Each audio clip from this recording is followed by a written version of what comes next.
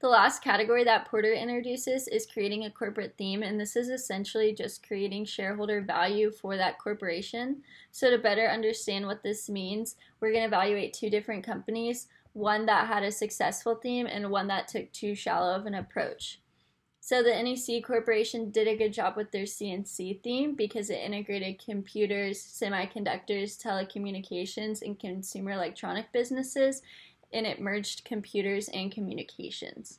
So CBS, on the other hand, took too shallow of an approach because they wanted to be an entertainment company. So they got into industries like toys, crafts, music, sports, and hi-fi retailing. And so none of these businesses had the opportunity to share activities or transfer skills among each other. And so they had to sell these businesses at significant losses.